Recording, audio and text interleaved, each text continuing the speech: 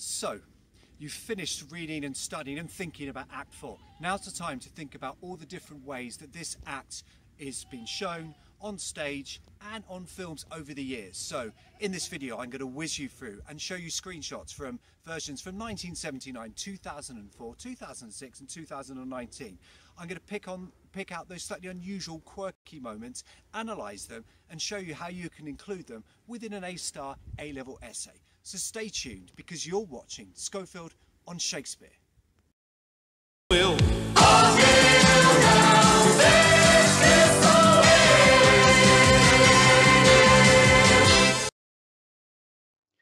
As usual, we're kicking off with Desmond Davis's 1979 BBC production of Measure for Measure.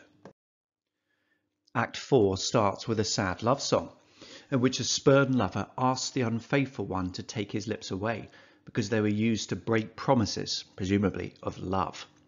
The spurned lover also asks for the eyes to be removed. They offered so much, but ultimately lied to her. More ambivalently, she both wants her kisses returned to her, i.e., to turn back time to a period before she lost her heart, but of course, the phrasing also means that she wants a return to those glorious, happy, passionate moments. This production is faithful to the original play in that the song is sung by a boy rather than Mariana herself. One effect of this is to accentuate Mariana's passivity from the very word go. Even before she becomes a pawn in the Duke Isabella's machinations, albeit a willing one, she hasn't even got the agency or energy to rouse herself to sing her own love songs. Instead, she just sits. And on this particular occasion, she has sat in the same position all day apparently, and thus can confirm that no one has been to ask after the Duke. Within the screenshot shown, you can see the Duke's hand on Mariana's sad-looking face as he reassures her that he doesn't just believe her here, but constantly does so. This gesture from the Duke appears to be the act of someone who cares, who is on her side, who simply wants to help. Mariana may be concerningly passive for a modern audience's palate, but there are signs in this scene of Isabella taking on greater agency in relation to the Duke's plan. She invents her own reason for her supposed rendezvous with Angelo needing to be brief, she will have a servant waiting for her, whose persuasion is that she comes about her brother. And the framing shown on screen also seems to imply an improvement in the power dynamics.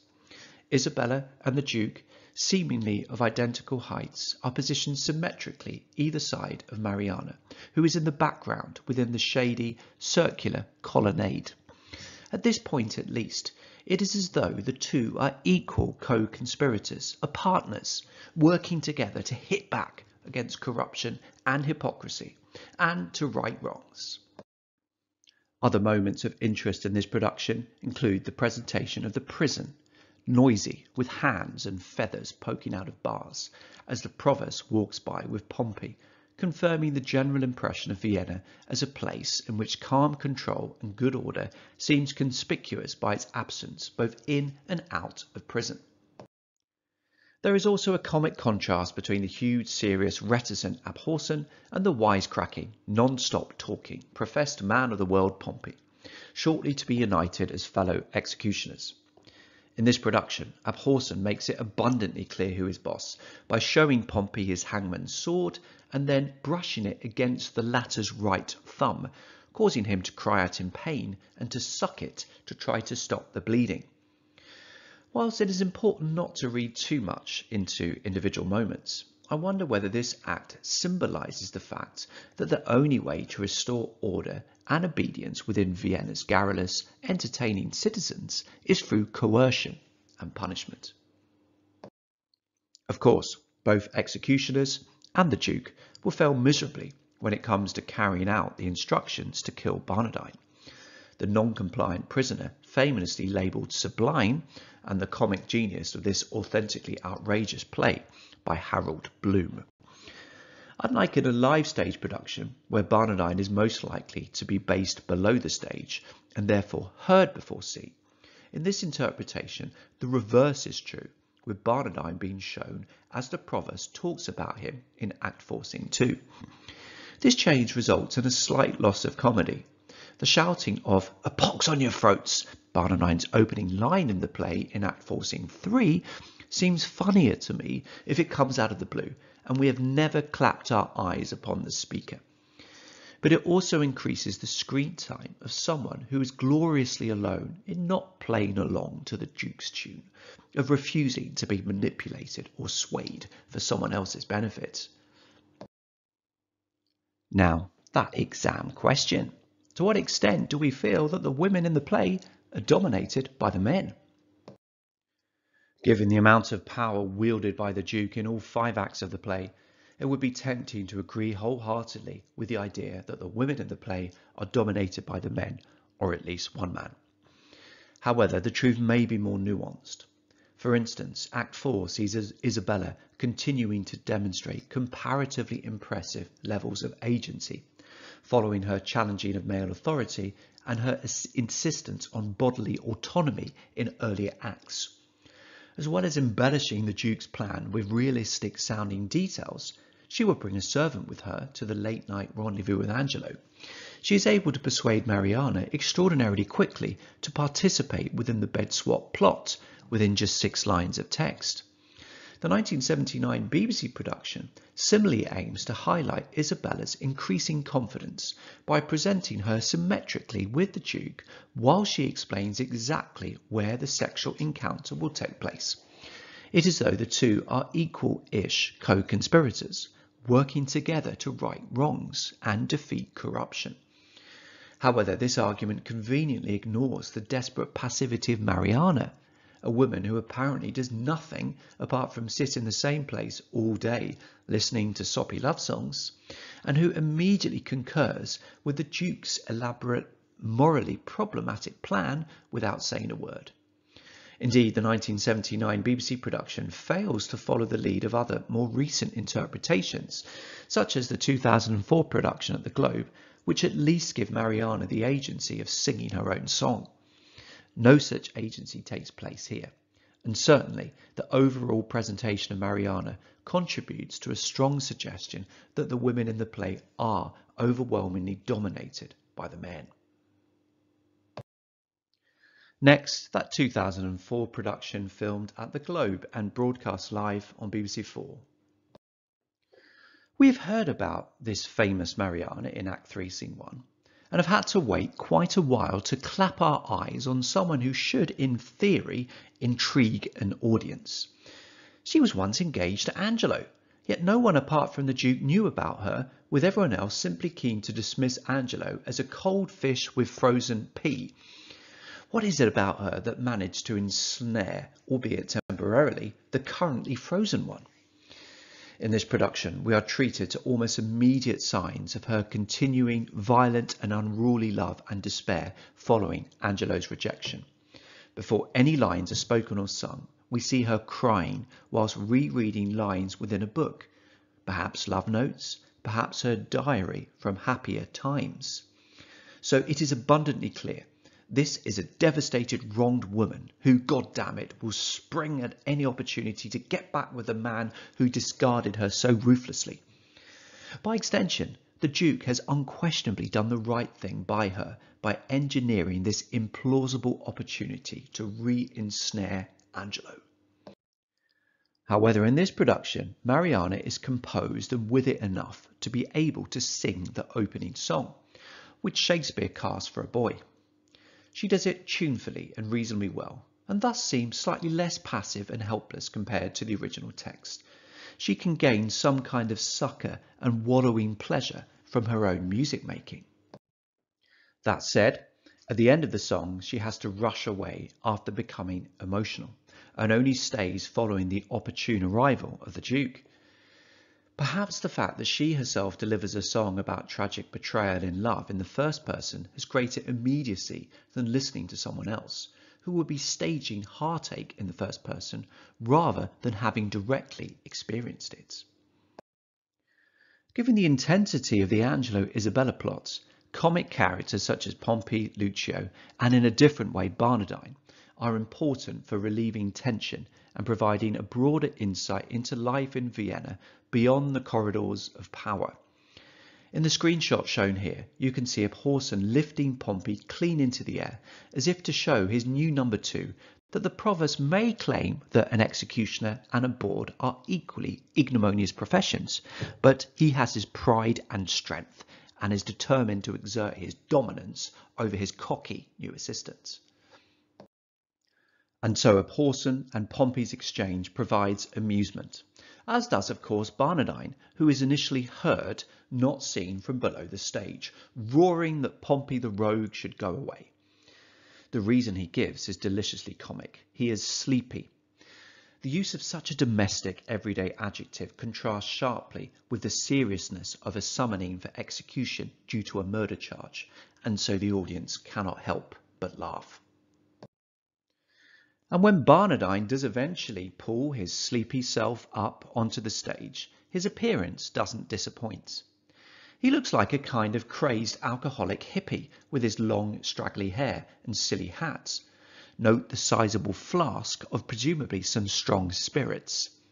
Even better, his rebuttal is now aimed at the Duke, not just Abhorson and Pompey, which increases the comedy to see someone refusing the instructions of someone who has ultimate authority in Vienna, albeit currently undercover, is curiously satisfying. Particularly given the fact that the Duke is lying in a way which he wasn't when advising Claudio in Act 3, Scene 1. He is not there because of his charity, but because he needs Barnardine's head to be shaved and presented to Angelo as Claudio. And yet there is an urgency in the Duke's dealings with Barnardine, which to some extent could stem from a measure of genuine religious belief and shock at Barnardine's seeming total absence of Christian repentance or consciousness, as well as increasing panic at the probability that they would not be able to present a fake Claudio head to Angelo. Here we can see him kneeling on the floor, Bible outstretched. But Barnardine ain't having none of it.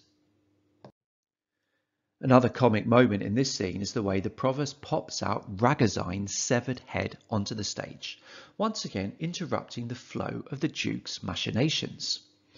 In this production, lines 99 and 100 are cut, and there is a pause of a full 17 seconds, during which the Duke staggers back in shock, gags, and sits in a strange hanging position from which he is unable to see the severed head, before the provost in a patronising come reassuring tone reassures him that he will carry the head himself. Once again with this production, we are seeing that the Duke, in the guise as a friar, seems someone who can be talked over, someone who is apparently fragile and hapless, yet someone who is ultimately persuading everyone bar Barnardine to follow his instructions. He is also less successful with Lucio, but then he doesn't actually need him to follow his instructions. He just finds his insinuations disrespectful and bloody annoying. This production squeezes another comic moment out of the severed head, not in Shakespeare's original production, when the provost trots off towards an exit with Ragozine's severed head, with Isabella about to enter through the same door. The Duke goes berserk and frantically ushers the provost towards the other exit whilst crying, No, no, no, no, no, no, causing great hilarity amongst the audience. But the timing of this strikes me as significant. Particularly keen students of the play will remember what the Duke says next. He confides in the audience that he will deliberately deceive Isabella, deliberately lie to her, and tell her that Claudio has died after all. Why? It is to make her heavenly comforts of despair, i.e., out of despair, she will learn the comforting power of heaven. This is such a strange, unconvincing reason, which furthers the impression we have of the Duke as someone who may enjoy stringing people along, may enjoy the drama of building up to an extraordinary climax in which everything is revealed, with himself as the grand hero and saviour. However, in this production, the audience is still laughing about the grossness of a man being ushered around the stage with a severed head in a bag, rather than thinking more seriously about this question just what the hell is the Duke up to? And why does he keep on itching his bloody feet? Now, for an exam question. Is it true that the Duke seems to make things up as he goes along and that he is never far from disaster? The idea that the Duke seems permanently teetering on the verge of catastrophe and improvises haphazardly and hopefully strikes me as unfair and inaccurate. In relation to the former, a fairly obvious point is that he can choose to remove his disguise and resume power at any point, thus, for example, preventing injustices such as the death of Claudio. The fact is that he chooses to remain disguised and lurking behind the scenes, even when disaster appears imminent. This is part of his plan to satisfy his curiosity about Angelo, expose hypocrisy and corruption in the most public, dramatic way possible, and ensure that his former deputy is forced to accept the crazily loyal Mariana as his wife, poor Mariana disadvantaged. That said, there's no doubt that he needs to respond quickly to unexpected developments, including the fact that Angelo reneges on his side of the bargain by insisting on Claudio's execution, and Barnardine absolutely refuses to be put to death. However, his plan to present Barnardine's head as Claudio's is ingenious, and the logic behind the statement that death's a great disguiser is sound. No one likes to inspect a severed head too closely, something which is comically exploited in the 2004 Globe production when the Duke gags after seeing Ragozine's head plonked unceremoniously by him on stage. Yes, he benefits from the occasional timely dollop of luck, including the suspiciously convenient death of Ragozine. But overall, there is a sense that the Duke knows what he is doing. He has a plan, even if at times the audience feel uncomfortable with his underlying motivations, most notably his cruel decision to deceive Isabella about Claudio's death in Act 4 Scene 3. Let's return to the 2006 film version of the play, directed by Bob Komar. Out of all the acts in the play, Act 4 probably contains the most number of cuts. Act 4 Scene 1 is cut entirely, partly because Mariana's acquiescence and participation in the bed swap plot has already been shown by flash forwards during the Duke's exchange and introduction of the plan in Act 3, Scene 1. In Act 4, Scene 2, there is no exchange between Pompey and Abhorson or any mentioning of Barnardine. Act 4 scenes 4 to 6 are cut entirely, and a bit of Act 4 scene 3 is tagged within a section of Act 4 scene 2. Here's how the screenplay looks for Act 4 in full. Press pause if you would like to read any of this in more detail. If watching in the classroom, you might want to analyse further the effect of any of the missing sections. The video will move within 5 second intervals between each slide.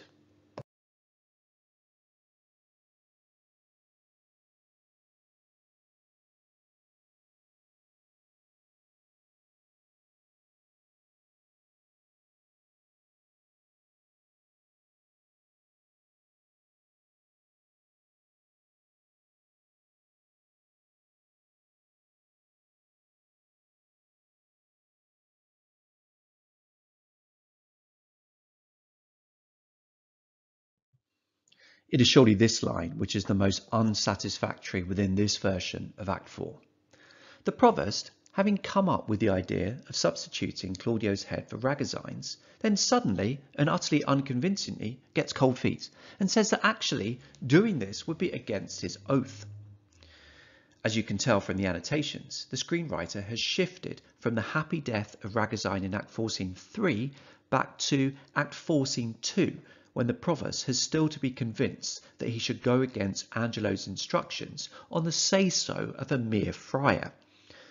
The trouble with this is that it seems bizarre that the provost, having talked so eloquently of using Ragozine's head, then changes tack immediately and contradicts himself.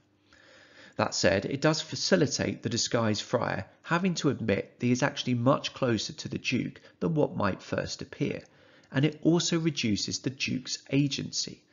In this version, yes, he comes up with a whole elaborate plan of Mariana taking Isabella, Isabella's place in Angelo's pitch black bed, but he doesn't come up with the idea of switching heads.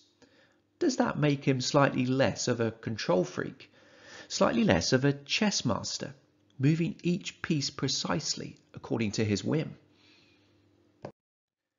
It's also important to note that in this production, the disguised friar goes further than whipping out the hand and seal of the Duke as shown within an official letter.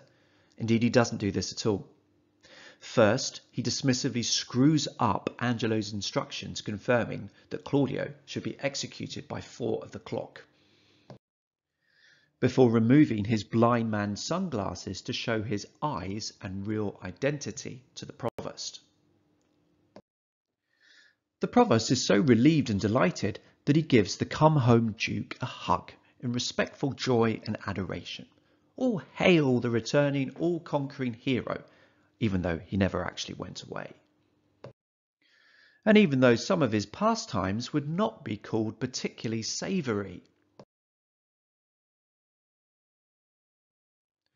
The fact that the Duke does categorically reveal his identity early in this production makes him seem more human, especially given the Provost's reaction, and less theatrical. In the original text, it seems as though he wants to control everything and wants to pick the exact moment both of his unveiling and his revelations about Claudio being alive. But here, the fact that he is happy to privately unveil himself to a panting provost, and the fact that his lines containing a feeble excuse about keeping Isabella ignorant of her good to make her heavenly comforts of despair are cut, makes him seem more relatable, more understandable, and less of a megalomaniac. Time for another one of my sample paragraphs, this time on the question as to whether the few good characters shine out in a dark, corrupt world. It is tempting to disagree wholeheartedly with both sides of this provocative statement. Firstly, is it really true to say that there are only a few good characters? In addition to the fairly straightforwardly decent Escalus, applies the law humanely, Claudio genuinely loves Juliet, and Mariana, harmless as a fly, other characters also display regular selfless kindness. For instance, Lucio, in spite of his love of wisecracks and sexual innuendo, clearly feels genuine pity for Claudio. He would be sorry his life should be thus foolishly lost at a game of tic-tac. And he also plays a pivotal role in encouraging Isabella to be more passionate when pleading to Angelo for his life. Isabella may shock and surprise with the vehemence of her reaction following Claudio's suggestion that she might sleep with Angelo, but she always tries to do the right thing and openly declares that she would throw down her life but not her chastity, for Claudio as frankly as a pin. And then there is Angelo and the Duke. Yes, Angelo is dark and corrupt in his attempts to get Isabella to yield her body to his will. But as Isabella herself points out, a due sincerity governed his deeds till he did look on me. As for the Duke, he is genuinely shocked by Angelo's hypocrisy and works tirelessly to help Isabella preserve her chastity, albeit whilst continually delaying revealing his identity, which many audience members might have felt the more logical, straightforward means of resolving the situation. Of course, the extent to which we feel Vienna is a dark, corrupt world, or say, a vibrant, fun place in which sex and jokes are commonplace, will depend on the production. The 2006 Komar film starts by showing widespread anarchy, drug taking, sex in toilets, and flag burning.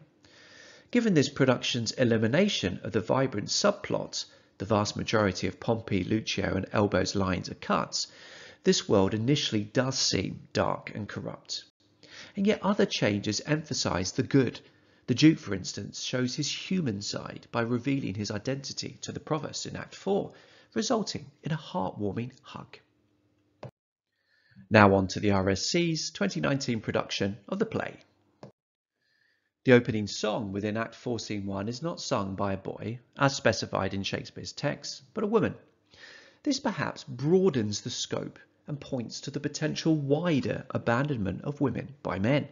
It is not a one-off to find a man with eyes that do mislead the morn, whilst Mariana's passivity is stressed with her remaining seated and not moving throughout the song, even as the Duke enters.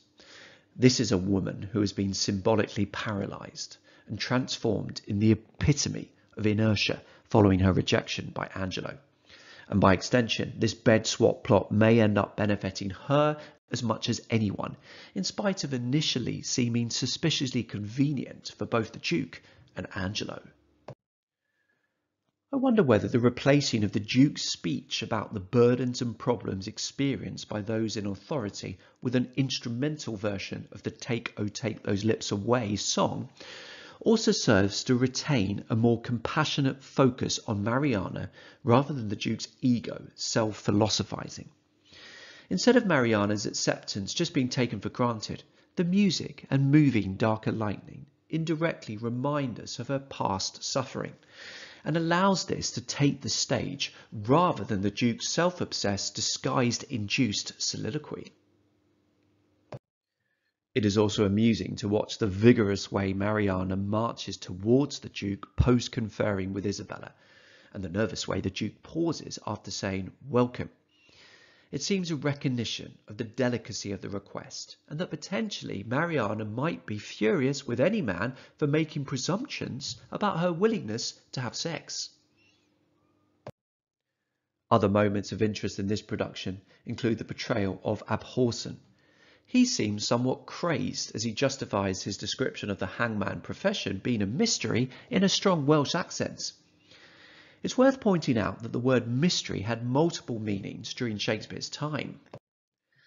As illustrated in these definitions taken from Shakespeare's words.com. Essentially, he is keen to stress that being a hangman is something deeper and more special and profound than any old profession. It requires great skill and very few people understand what the role is really about.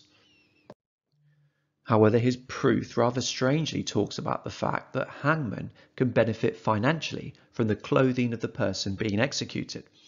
In this context, the thief represents the hangman who recognizes the sell-on value of clothing that doesn't fit him. Of course, if it does fit him, then all the better. Abhorson's manic craziness results in Pompey sharing a God, what is this guy on look with the audience, resulting in an additional laugh. Abhorson's craziness is confirmed by the manic way he brandishes his hangman's axe in the air when instructing Pompey to bring Barnardine hither. With such a melodramatic, manic figure in charge of executions in Vienna, it is harder to take the whole notion of a death sentence too seriously. With this buffoon in charge, now aided by an opportunistic joker such as Pompey, it somehow seems unlikely that any prisoners will come to too much harm. Talking of Pompey, he also gets a laugh at the beginning of Act 4, Scene 3 when he self-consciously ad-libs and draws attention to his pun about peaches, which the modern audience is unlikely to fully understand. As confirmed by the ever helpful shakespeareswords.com, peach can not just mean a colour or a fruit, but can also be used as a verb, similar to the verb we understand nowadays, impeach. In this context, Mr. Caper has just ended up in jail due to his debt to Master Threepile, the fabrics merchant. The former was unable to pay for his four, four suits of peach-coloured satin, which denounces him, peaches him as a poor man, a beggar with the audience likely to be rather confused by the barrage of allegorical type names such as Master Rash, Master Caper, and Master Deepvow, Pompey's unexpected meta-theatrical departure from the script gives the audience something easy to laugh at and helps maintain the relaxed, slightly chaotic, bawdy feel of the prison.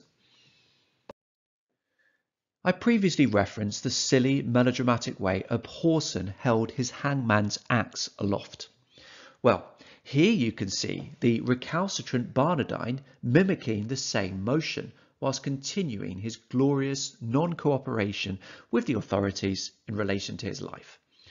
In some ways, Barnardine just seems a more extreme version of Vienna in the way that so many seem to hold many of the laws and justice systems in contempt or, in the words of the Duke in Act 1, Scene 2, liberty plucks justice by the nose and the baby beats the nurse. The fact that he can openly mock someone who you would suppose would be feared, if not necessarily respected, highlights the lack of good order and respectful morality under the Duke's reign, and hence the need for someone like Angelo. But this Barnardine doesn't just do mimicry, he does farting from his smelly, sweaty cell. And he can be violent too, seen here with a threatening thug expression and his hand tightly grasping the Duke's cloak around the neck, having lost patience with the Duke's repeated insistence that he has to die that day and should prepare himself accordingly.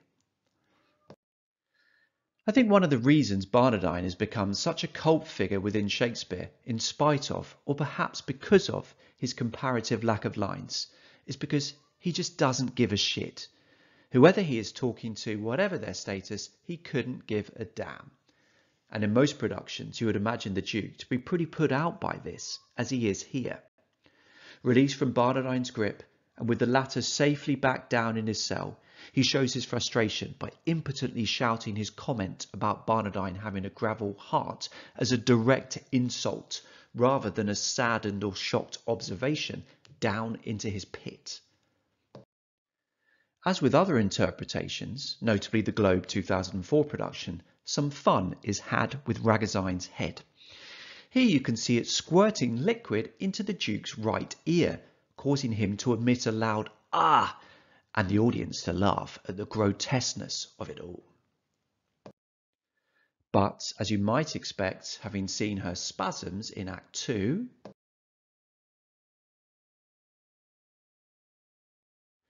It is Isabella's reaction to the supposed death of Claudio which provides one of the dramatic highlights of this act.